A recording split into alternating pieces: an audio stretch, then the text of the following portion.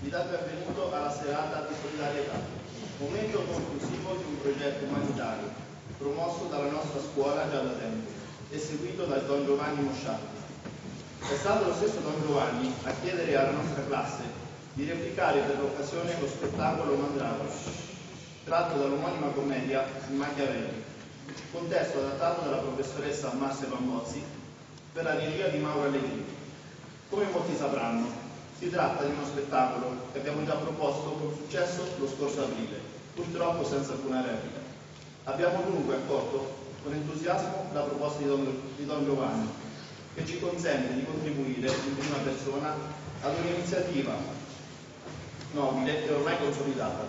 Sono infatti sette anni che il liceo scientifico, anche grazie alla vostra sensibilità, sostiene delle adozioni a distanza in Africa, dando la possibilità di studiare a ragazzi che non ne avrebbero i mezzi. Per la realizzazione dell'evento di questa sera ringraziamo in primo luogo il Comune che ci ha concesso questo magnifico teatro. E, ringraziamo inoltre il corso di moda dell'Istituto di Istruzione Superiore Merloni Migliani di Fabiano che ci ha concesso i costumi di scena, al parrucchiere Danilo Style che ha curato le acconciature e il trucco, a tutti gli sponsor che hanno offerto il loro contributo, ovvero la ditta Fratelli Lucchetti, CM Costruzioni Meccaniche, Zannelli Libertà, la Farmacia Popolare, la Farmacia Tommassina Silvestrini, Ciancamerra Luigi e Marinelli Gigliola. Grazie e buon divertimento.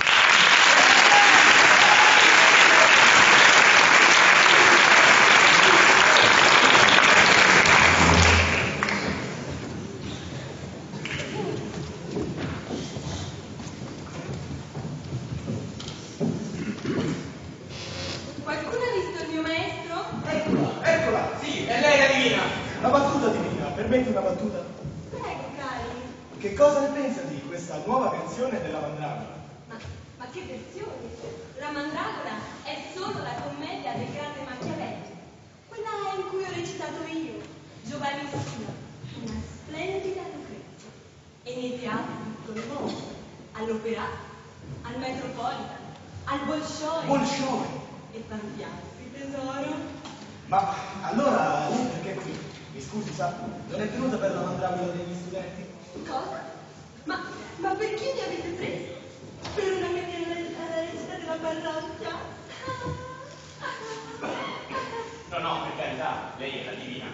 Vengo tosto dal Forti per la presentazione del mio nuovo film, L'ultima imperatrice. Splendida. Non potevo che essere io. Ma visto che è qui, potrebbe dirci che cosa ne pensa di uno spettacolo fatto dai ragazzi?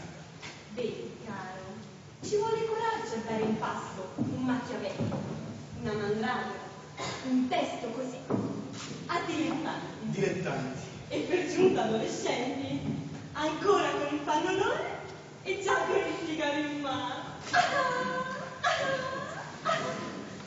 Che teneri però, non è vero? Ma in fondo la mandragora narra una storia semplice, alla portata di tutti.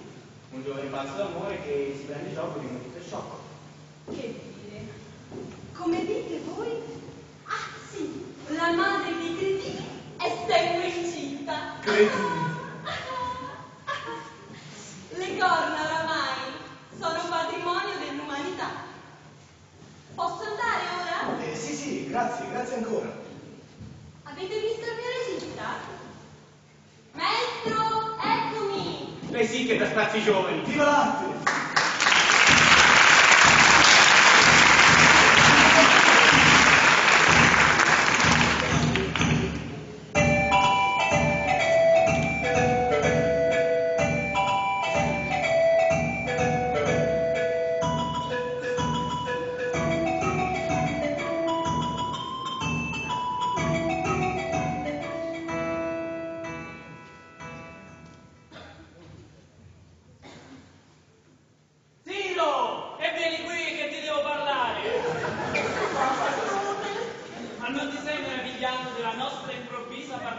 Parigi? ma sì! E non ti sei ancora più meravigliato del fatto che ci troviamo proprio qui a Firenze? Oh, ma certo! E non ti pare strano il fatto che io non faccia niente da più di un mese? Oh, ma no! Mi me ravvilerebbe il contrario. Senti Siro, se non ti ho mai detto quello che ti sto dicendo ora, non è che non mi fidi di te, è che credo che solo questo sia il momento adatto. E ascoltami bene, che avrò bisogno del tuo Oh, aiuto. ma padrone, io vi sono servitore. Padroni. Ma parlate, sono pronto ad ascoltarvi e aiutarvi. Ma ti avrò raccontato mille volte la mia storia. All'età di dieci anni fui mandato a Parigi e lì vi ho vissuto per altri vent'anni. Oh, sì, lo so. Dopo la venuta di Riccardo in Italia, ho ritenuto che fosse molto più sicuro restare a Parigi piuttosto che qui. Oh, certo. Ho dunque venduto tutti i miei beni a Firenze e ho vissuto a Parigi per altri dieci anni, dividendo il mio tempo tra studi e piacere. Oh, i piaceri li ricordo, studi un po' meno. Comunque, tempo fa capita a Parigi un certo. un certo. eh, Camillo Calpucci. Su, questo Camillo era spesso a fine a casa nostra. Certo, sì. E capita una sera, ci mettiamo a parlare sulla bellezza delle donne. Oh, donne, donne, ma non mentre dell'altro voi. E lasciami finire. Io sostenevo che non c'era niente di paragonabile alla donna francese. Questo Camillo invece esaltava tanto le italiane, in particolare una certa Lucrezia, eh, la moglie del messer eh, ah, Micia Calpucci. eh. Ora so cos'è che lo rode. Ho oh. messo addosso tanta bramosia nel vederla Oh, sì? Che la mattina seguente sono subito partito per Firenze. Ed eccomi qua. Ah, ed eccoci qua. E qua ho trovato la bellezza di Madonna Lucrezia di gran lunga superiore alla sua fama. Il desiderio di stare con lei mi fa impazzire. Oh, esagerato. Dio, che andiamo a fare? Oh, ma esagerato, no? Grazie! Ma che pretendo io da te? Dopo un consiglio così saggio mi sento già meglio. Oh, ma padrone, ma come farete a farmi amare da lei?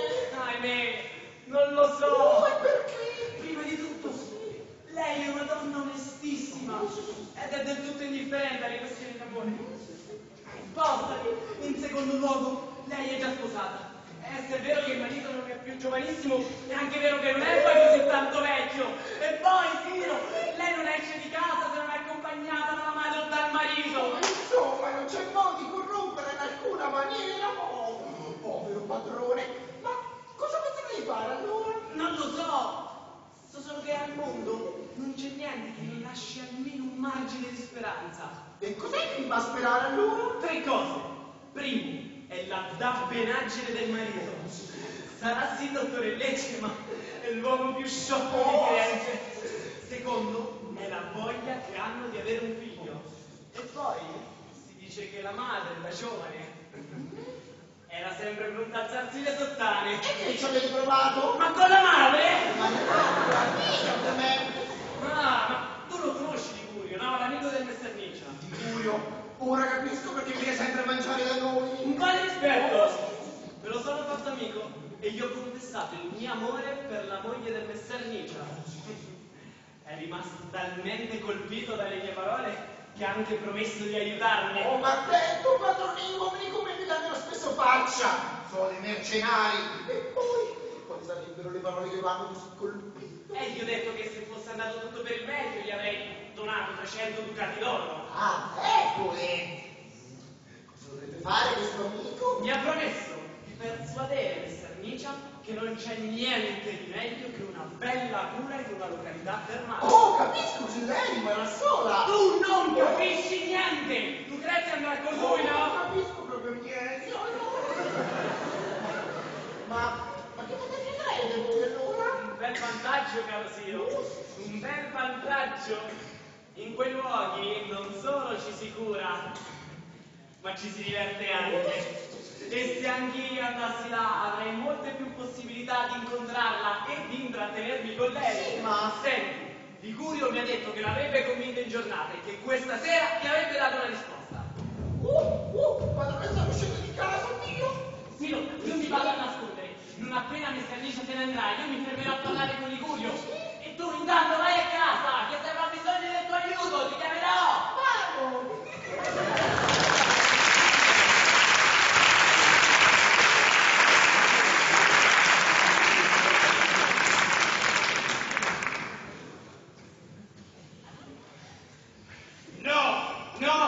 di no. Ma perché? Senti, Luis, lo so che cerchi sempre di darmi dei buoni consigli, ma questa volta sono proprio deciso a non accettarlo. Ma per quale motivo? Per il troppo disagio che ti hai. Lo sai che lascio malvolentieri casa mia? Inoltre ho parlato con molti medici. Uno dice andare alla Porretta, un altro a Monte Canino, un altro ancora a San Filippo. Insomma, non si decidono neanche tra di loro. Già. E poi, siete fatto, vi dispiace anche lasciare Firenze? Ti sbagli! Quando ero giovane somigliavo a un cane randato, sai? Non fu mai fatta per a Prato che io non visitassi. E ti dirò di più. Sono stato anche a Pisa e a Livorno. No! E a Livorno vedeste il mare? Sì, certo. Ma va? Ed è più grande dell'anno? Bestia! Che anno? Due, tre, ma che dico? Sei, sette volte più grande dell'anno!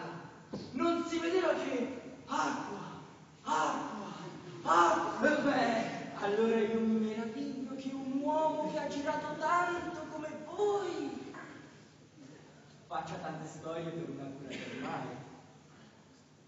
Senza contare che da quei bagni rinvigorenti potrebbe nascere qualche cosa. Ma ti sembra cosa da poco? Traslocare con tutta la casa?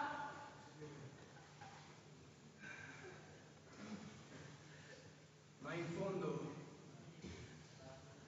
desidero così tanto avere un bambino che farei qualsiasi cosa. Eh sì! Tu vai da me e fatti indicare una località precisa. Io, intanto, torno da mia moglie.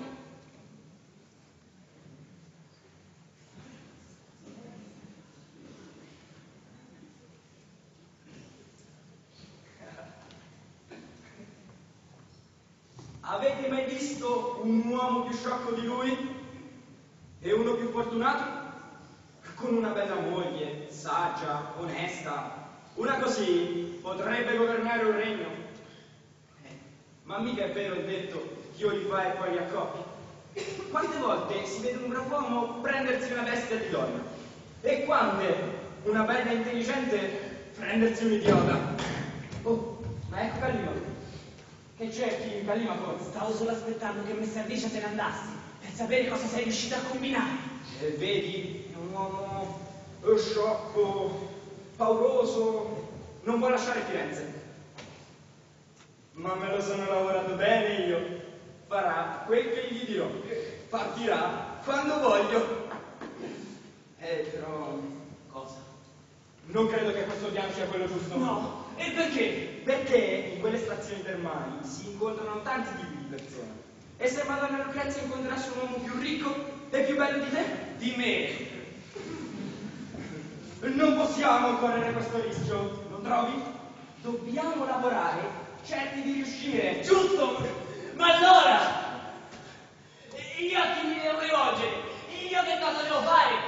Io devo pur tentare qualcosa, e che importa se sarà rischioso e infame? Meglio morire che vivere così.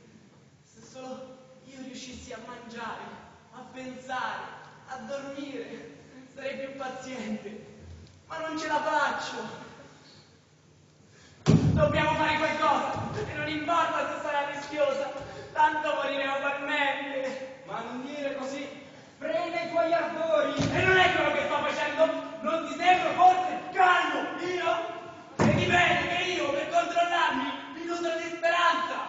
Però ora è necessario fare qualcosa e non importa che cosa, purché si faccia. Sta tranquillo, oramai so io cosa fare. E io ti credo. Anche se so che spesso quelli come te mi prendono in giro gli altri. Ma non credo che mi prenda in giro. Perderesti tutto quello che ti ho promesso. Infatti, io ti assicuro che se anche non ci fossero di mezzo i soldi, Ti aiuterei ugualmente. eh, ma ora veniamo alla fresca. Messer Messer Nicia mi ha incaricato di trovare un dottore. Quel dottore sarebbe io, sì, proprio tu. Dirai che hai studiato medicina e che hai esercitato a Parigi. E per rendere più verosimile la cosa, gli sparerai anche due parole di latino. Ma tutto ciò che servirà? Servirà da qua in piena in testa. Insomma, cos'è che vuoi dire? Voglio dire che se mi ascolterai, la donna di tuoi sogni sarà tua prima di domani a quest'ora. Ma tu mi reducidi, dimmi solo cosa dobbiamo fare. Questo lo saprai quando sarà il momento. Adesso torna a casa e aspetta. Vado. Ah, e quando mi vedi arrivare come Messer Nicio, segui il filo dei miei discorsi e cerca di andargli dietro. Farò tutto quello che vuoi!